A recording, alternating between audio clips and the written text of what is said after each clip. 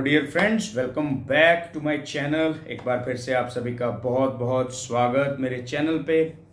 तो फ्रेंड्स, आज के वीडियो में एक और नया टॉपिक लेके आप सभी के सामने हाजिर हूँ। और ये जो टॉपिक है, ये मुर्की के बारे में है, टच नोट के बारे में। तो इस टॉपिक के ऊपर बहुत से वीडियोस इससे पहले मैं बना भी चुका हूँ। स्लाइडर के साथ मुर्की कैसे लेनी है, मुर्की कितने तरह की होती है स्लाइडर की मूवमेंट के हिसाब से। बिना स्लाइडर के जो मुर्की है या टच नोट है, वो कैसे लेना है? तो ये सभी टॉपिक्स मैं अपने पुराने वीडियोस में कवर कर चुका हूँ। तो फ्रेंड्स आज का जो वीडियो है, इसमें एक और नई तरह की मुर्की। तो जिसको कि, जिसका मुझे टेक्निकली उसका क्या नाम है, मुझे कहीं नहीं मिला। मे बी उसको जो इंडियन क्लासिकल म्यूज़िक है, उसमें कुछ नाम देते हों।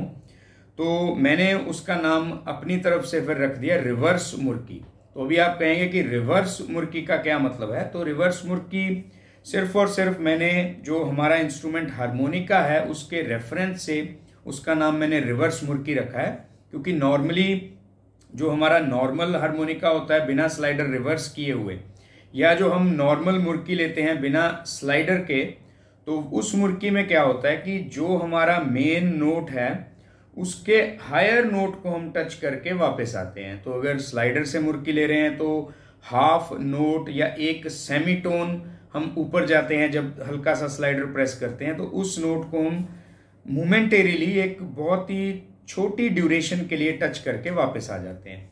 तो इसी प्रकार से जो बिना स्लाइडर की मुर्की होती है, उसमें भी कुछ ऐसा ही हम करते हैं कि बिना स्लाइडर प्रेस किए किए हुए हारमोनिका को बजाते हुए हम नेक्स्ट हायर नोट जो है उसको टच करके वापस जो मेन नोट है उसके ऊपर आ जाते हैं।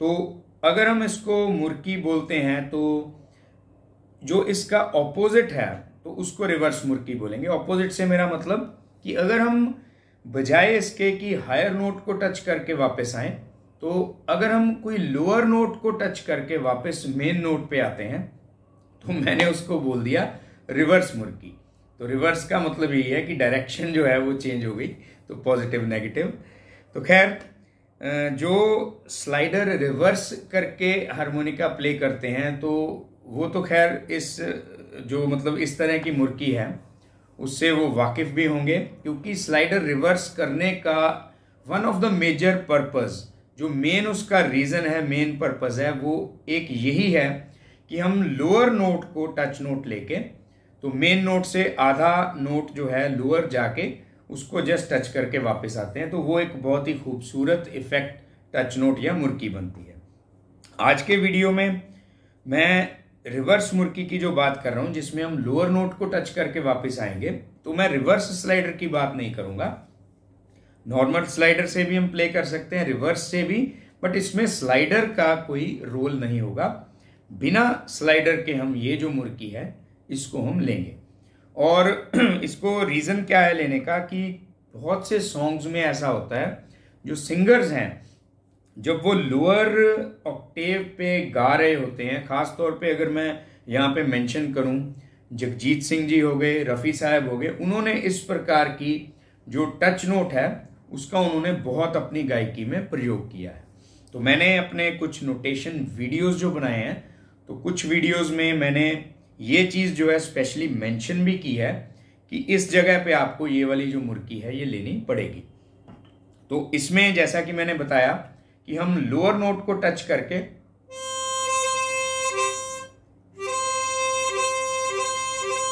तो इसमें आपने देखा, जो मेन नोट है वो सा है।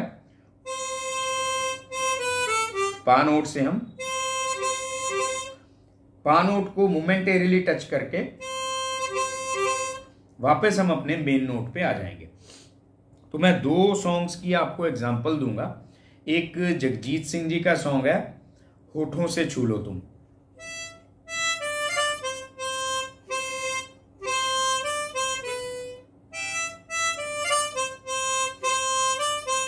जो यहाँ पे वर्ड है, होठों से झूलो तुम। तो उसमें उन्होंने इस प्रकार का जो टच है, वो दिया है अपनी सिंगिंग में। तो इसको अगर आप लगाएँगे तो ये खूबसूरत लगेगा।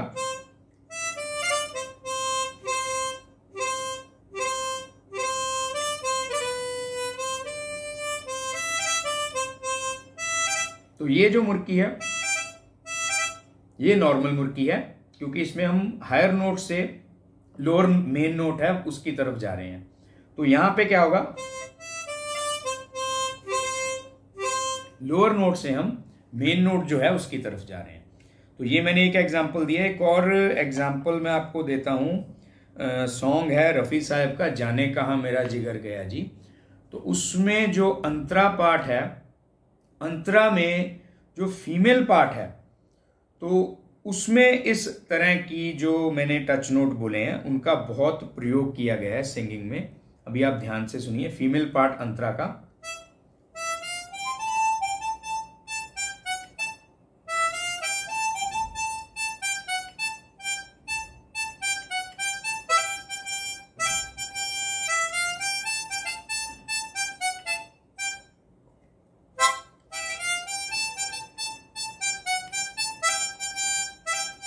एक्चुअली मुर्गी के उसमें जो फ्लो है तो वो टूट रहा था थोड़ा सा इसलिए नोट जो था, वो गलत बज रहा था दोबारा से।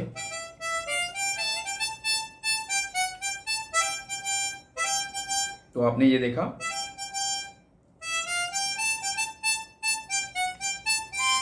ये प्लेन है।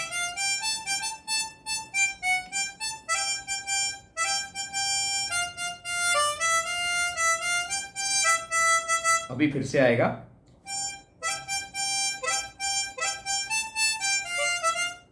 आपने देखा, तीन बार मैंने ये जो टच नोट है उसका प्रयोग किया। अंतरा की जो दूसरी लाइन है।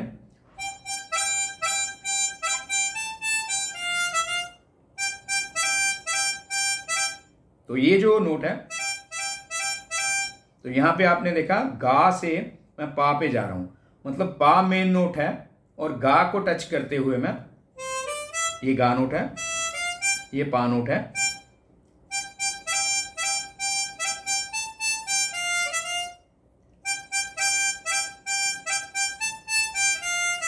तो ये जो नोट है एक्चुअल में फीमेल पार्ट में आप फील करेंगे कि ये लोअर नोट को टच करके मेन नोट पे जो गायकी में सिंगिंग में ये चीज़ जो है, ये यूज़ की गई है। और ऐसे बहुत से सॉन्ग्स हैं मैंने दो सॉन्ग्स की आपको एग्जांपल दी है, जगजीत सिंह साहब और रफ़ी साहब के।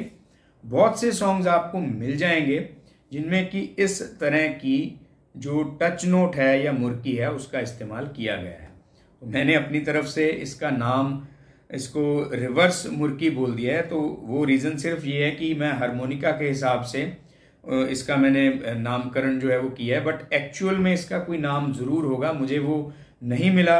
मैंने खो, मतलब खोजने की कोशिश की तो मुझे हर जगह पे ये टच नोट ही मिला इसका नाम या कर्ण स्वर बोलते हैं जैसा कि हम रिवर्स स्लाइडर में बजाते हैं तो रिवर्स स्लाइडर में लोअर नोट जो है हाफ़ नोट नीचे वो टच करके मेन नोट की तरफ़ आते हैं तो उसका नाम जो था वो कर्ण स्वर ही रखा हुआ था। तो खैर जो भी नाम हो नाम में क्या रखा है मेन बात यही है कि आपको ये चीज़ आनी चाहिए इसकी आप प्रैक्टिस कीजिए कोई बहुत ज़्यादा ये मुश्किल नहीं है और जहाँ पे सिंगिंग में ये चीज़ यूज़ हुई है, आप हारमोनिका के ऊपर भी यूज़ कीजिए इसको तो वो सुनने में बहुत अच्छा लगेगा। तो फ्रेंड्स उम्मीद करता हूँ कि आज का वीडियो आपको पसंद आया होगा।